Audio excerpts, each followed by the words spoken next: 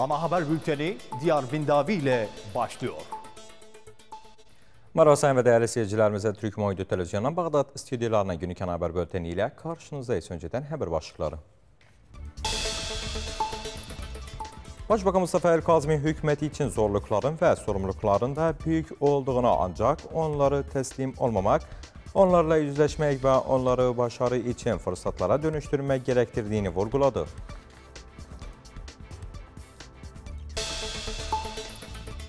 Maliye Bakanı Ali Allavi Merkez Bankası'nın para rezervlerinin de bu yıl sonuna kadar 90 milyar dolar dolara çıkarılacağını vurguladı.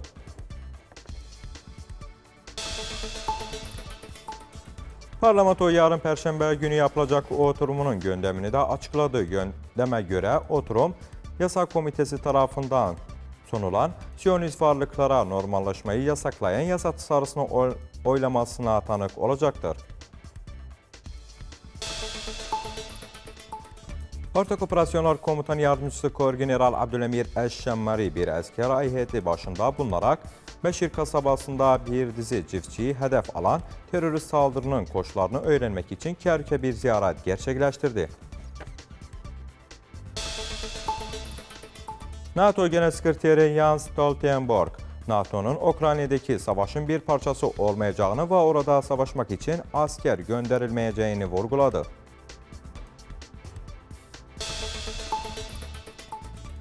Petrol fiyatları arz eksikliği ve Amerika Birleşik Devletleri'nde yaz sezonunda başlamasıyla artan talep olasılığı ile desteklenen bugün erken işlemlerde yükseldi.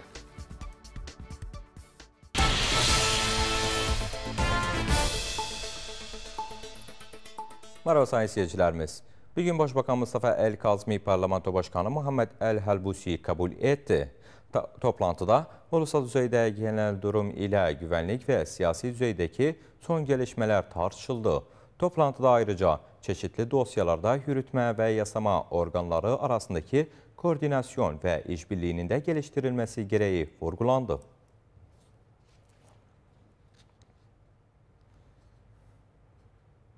Başbakan Mustafa El Kazmi hükümeti için zorlukların ve sorumlulukların da büyük olduğunu ancak onlara teslim olmamak, onlarla yüzleşmek ve onları başarı için fırsatlara dönüştürmek gerektirdiğini vurguladı.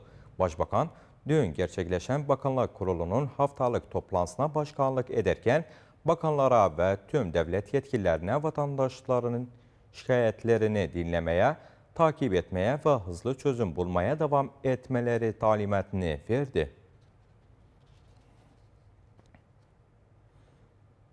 Bakanlar Kurulu'nun haftalık top oturumu sırasında yaz mevsiminde su katılığını gidermek için su kaynaklarına 25 milyar dinar tahsis edilmesi onaylandı.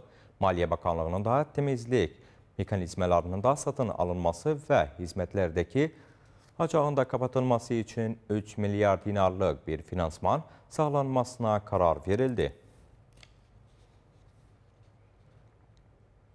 İletişim Bakanı Merkez Komitesi'nde Körfez İşbirliği Konseyi ülkeleriyle elektrik bağlantısına ilişkin tavsiyesinin de onaylanmasına değindi.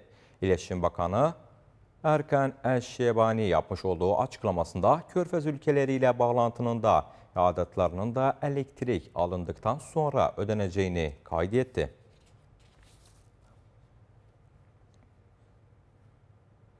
Erbil'de iki parti olan Kürdistan Demokrat Parti ve Kürdistan Hürseverler Birliği arasında bölge başkanlığı merkezinde bir toplantı yapıldı.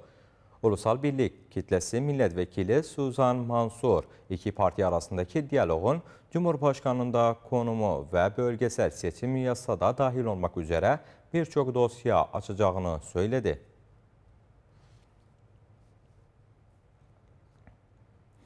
Parlamento Yasa Komitesi Başkanı Milletvekili Muhammed Annuz, gerçek ittifakların olmaması nedeniyle hükümeti kurma ve Cumhurbaşkanı'nın seçimindeki gecikmenin de önceki dört oturumda tekrarlandığını söyledi. Anuz daha önceki bir bültene konuk olduğu sırada yapmış olduğu açıklamasında siyasi güçleri anayasaya ve kanuna uymaya ve vatandaşların ihtiyaçlarını karşılamak için yeni anlaşmalar yapmaya çağırdı.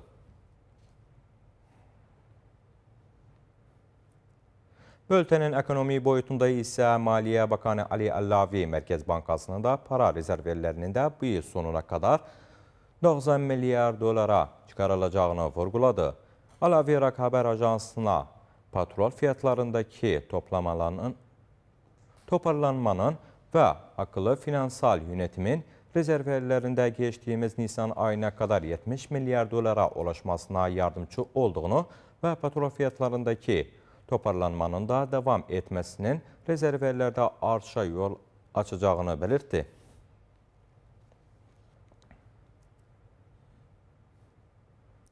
Irak Mərkəz Bankası Başqanı Mustafa Qali Bayas yağındına şartlarının da uygulanması yolu ilə patrol fiyatlarındakı artış və mali ilə ekonomik politika nədənləri ilə Irakdakı mali və ekonomik durumun düzənləndiyini doğruladı. Irak İngiliz İş Konseyinin Londra'daki konferansının oturum aralarında İngiliz Bankası'nda rezervlerin bir kısmının da bulunduğunu söyledi.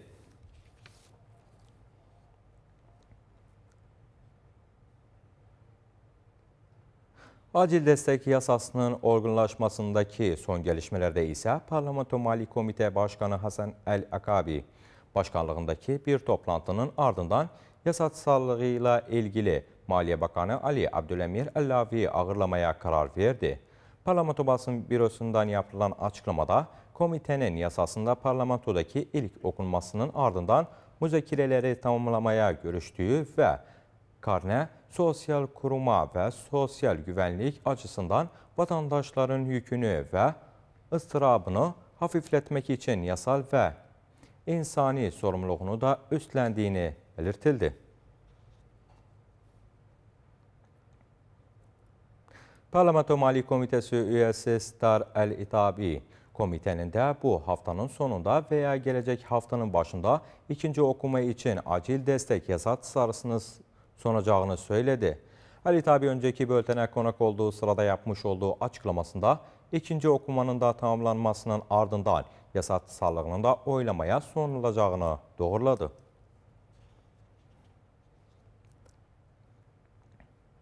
Parlamento yarın Perşembe günü yapılacak oturumunun gündemini açıkladı.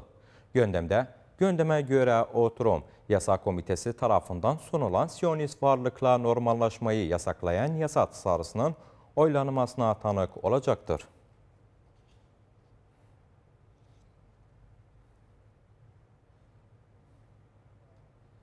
Yasa Komitesi Siyonist varlıkla normallaşmayı yasaklayan yasa tasarlığıyla ilgili güvenlik güçlerinden bir dizi lider ağırlandı. Komite toplantısında istihbarat ve ulusal güvenlik teşkilatlarındaki liderler ile Savunma Bakanlığından bir temsilci yasayı tartışmak ve oylamaya sormadan önce görüşlerini düzenlemek üzere ağırladı.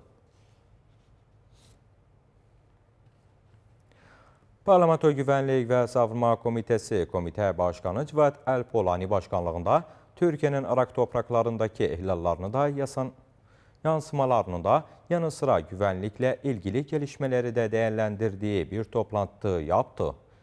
Parlamento Hizmetleri ve Yeniden Yapılanma Komitesi bugün parlamento binasında düzenlenen toplantıda Bağdat Büyükşehir Belediyesi'nin de uzmanlık alanına giren yasa tasarısının da önceliğini görüşmek üzere önümüzdeki hafta Bağdat'ın yeni belediye başkanının ağırlamaya karar verdi.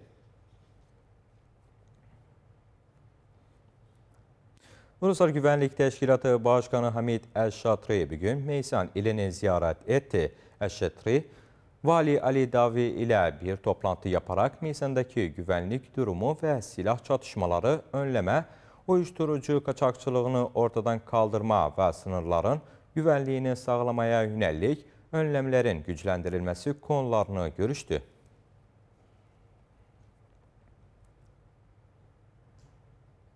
Ortak Operasyonlar Komutan Yardımcısı General Abdülemir Eşşemari bir asker heyeti başında bulunarak Meşir kasabasında bir dizi çiftçiyi hedef alan terörist saldırının koşullarını öğrenmek için Kerük'e bir ziyaret gerçekleştirdi.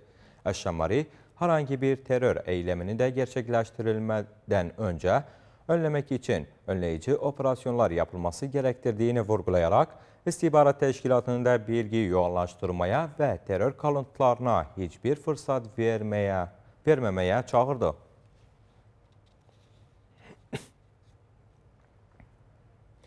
Kərkük valisi Rəkan Səyid Əl-Cüburinin yardımcısı Ali Hammudi, Irak İnsani İşlər Koordinasyon Ofisi Müdürü yardımcısı ilə bir araya gəldi. Kerkük valisi Rakan Said El-Cuburi'nin yardımcısı Ali El-Hummadi, Irak İnsani İşler Koordinasyonu Ofisi OÇA Müdür Yardımcısı ile aynı zamanda Kerkük'teki Göç ve Göçmen Müdürü Ammar Sabah'ın huzurunda kurtarılan bölgelerin desteklenmesi ve Irak'ın ihtiyaçlarını karşılamasına aynı zamanda Kerkük'teki yıkılan köylerin sakinlerinin geri dönmelerine yönelik çabaları görüştü. İnsani İşler Koordinasyon Dairesi'nin çabalarını ve kurtarılan bölgelere destek veren uluslararası kuruluşlar ve istikrar planlarının Kerkük'te desteklenmesi ve başarılı olması için çabalayan ayrıca Dakuk ve bölgelerinde zor zamanlarda göç etmek zorunda kalan göçmenlere destek olduklarının rollerinin büyük olduğunu vurguladı. Hammadi açıklamasının devamında Kerkük yönetimi yol, su ve elektrik projelerinin uygulanmasında kurtarılan bölgelerin ve yıkılan köylerin desteklenmesi için bütçe dahilinde planlar hazırladı. Ancak konut yapımı dosyasının bir zorlukla karşı karşıya kaldıklarını dile getirdi. Christina Bilend ise faaliyetlerinin istikrar çabalarını ve göçmenlerin geri dönüşünü artıracak şekilde olduğunu belirledi. Aynı zamanda nakit sağlamaya odaklandığını da vurguladı.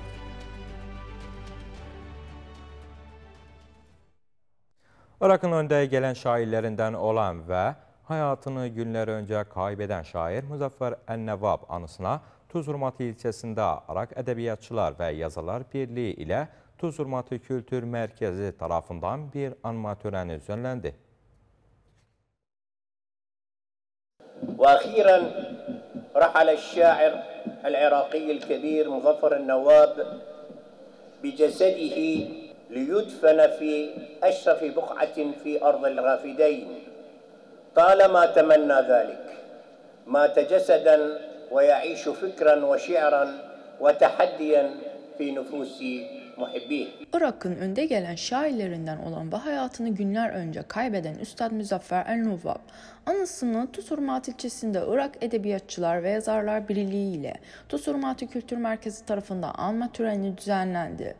Düzenlenen anma törenine edebiyatçılar, şairler ve önde gelen şahsiyetler katıldı. Anma töreni Kur'an-ı Kerim ve merhumun ruhuna Fatiha suresi okumasıyla başladı. Her bir şair millet uğrunda, vatan uğrunda bu yaptığı yani cuhudu ve bu yorgunluğunu çektiği ve gurbet çektiği şair milleti için, insaniyete hizmet için. Ekid bunu gerek her, her şeyde tekrim olunsun. Edebiyatçılar ve şairler yaşarlar hayatlarında her vakit zulme karşı söz, sesler çıkar. Bu da bir seslerden idi. Seslerin o en kuvvetli seslerden Irak'ta geçen yani rejimlerin zıddına durdu ve bütün yani difa etti vatanı ve Kudüs'e difa etti ve bütün hakimler zalim hakimlerin karşında durdu. Hapsine hapsine durdu. Hapsine diye de yani sizi yaptığınızı onun için çok çok çok şeyler yani çok hayatından verdi. O yaşadığı hayatta çok bir zulümde yaşadı adam. Onun için biz de bir gün yığıştık, toplandık. Muntada Tuzul Edebi adına İttihad-ül Udeba Irak, İttihad Rüdebal Irak adına geldik bir toplantını kurduk. Bu insanı tekrim ederken bu insana hakkında bir güzel bir küçüğüne bir vafa verebilirler özne. Anma töreninde merhum büyük şair Muzaffer El-Nuvab hakkında şiirler okudu ve, şiir, ve şiir hayatı boyunca verdiği emekler ayrıca şiirleriyle ilgili bilgiler paylaşıldı. Bilindiği üzere merhum büyük üstad şair Muzaffer El-Nuvab halk şairlerinden sayılırdı ve Irak halkının özgürlüğünü savunarak hayatını gurbette geçirdi. Eski diktatör rejimine boyun eğmedi. Bundan bir neçə gün evvel bir büyük şairi kaybettik. Irak şairlerinden, Arap şairlerinden Irak çapında ve alem çapında tanınmış bir şairiydi. O da Muzaffer el-Nevab. Muzaffer el-Nevab tanınmış bir şair olduğu için onun vafadarlığı için şairler ölmez, ne güzel demişler şairler olmaz. Biz de Türkmen şairleri olarak, edebiyatçıları olarak burada bir e, tebin, ne bir e, akşam yaptığımız için, onu yadlamak için, onun ruhu şad olsun, onun kalanlar sağ olsun. Çünkü şairler Arap olsun, Arap şairler olsun, Türkmen şairler olsun, Kürt şairler olsun mühim diline, milletine, yurduna, Irak'ına hizmet eder. Bizim bir onları hepsini bir gözle görmüşük.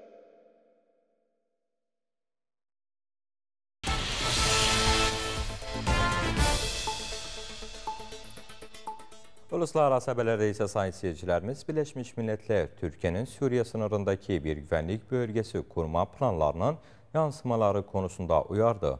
Uluslararası Örgüt Genel Sekreteri Rasmi Sözcüsü Stevan Lojrik, Suriye'nin sınırlarına yakın askeri operasyonlara değil, siyasi bir çözüme ve insani yardıma ihtiyacı olduğunu söyledi. ABD Dışişleri Bakanlığı Türkiye'nin Suriye'nin küzeyindeki askeri faaliyetlerini reddetti. Bakanlık resmi sözcüsü Ned Price, herhangi bir yeni saldırının da bölgesel istikrarı baltalayacağını ve DAEŞ'e karşı yürütülen operasyonu tehlikeye atacağını söyledi.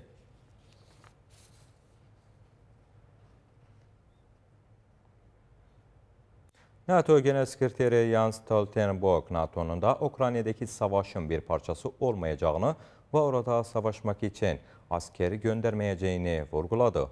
Stoltenberg düzenlediği basın toplantısında NATO'nun doğu kanadında 40 bin askerin konuşlandırıldığı ve 100 bininde yüksek alarmda olduğunu söyledi.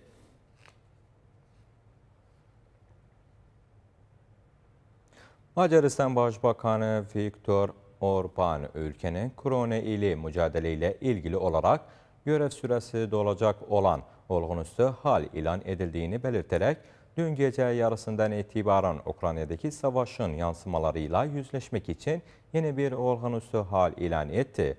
Orban Facebook'ta dünyanın ekonomi bir krizin ışığında olduğunu ve Macaristan'ın da bu savaşın dışında kalması ve ailelerinde mali güvenliğini kurulması gerektirdiğini söyledi.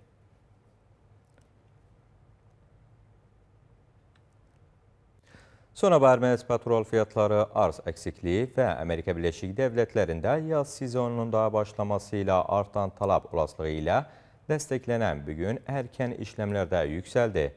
Brent ham patrolü 114 dolar 83 sent kazanırken Amerika West Texas ham patrolü veril başına 111 dolar kazandı. Haberlerimizin sonuna gelmeden önce haber başlıklarını hatırlayalım. Başbakan Mustafa El-Kazmi hükümeti için zorlukların ve sorumlulukların da büyük olduğunu, ancak onlara teslim olmamak, onlarla yüzleşmek ve onları başarı için fırsatlara dönüştürmek gerektirdiğini vurguladı. Maliye Bakanı Ali Allavi Merkez Bankası'nın para rezervlerinin de bu yıl sonuna kadar 90 milyar dolara çıkarılacağını vurguladı. Parlamento yarın Perşembe günü yapılacak oturumun gündemini açıkladı. Gündeme göre oturum, yasa komitesi tarafından sunulan Siyonist varlık normallaşmayı yasaklayan yasa tasarısının onaylanmasına tanık olacaktır. Ortak Operasyonlar Komuta Yardımcısı Kor General Abdülemir Eşşemmari bir asker heyeti başında bulunarak Beşir kasabasında bir dizi çiftçiyi hedef alan terörist saldırının koşullarını öğrenmek için Kerkük'e bir ziyaret gerçekleştirdi. NATO Genel Sekreteri Jens Stoltenberg, NATO'nun Ukrayna'daki savaşın bir parçası olmayacağını ve orada savaşmak için asker göndermeyeceğini vurguladı.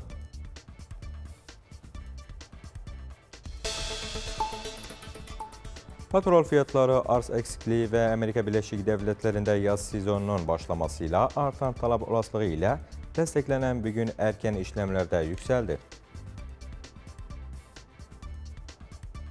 Xəbərlərimizin sonuna gəldik. Hoşçakalın.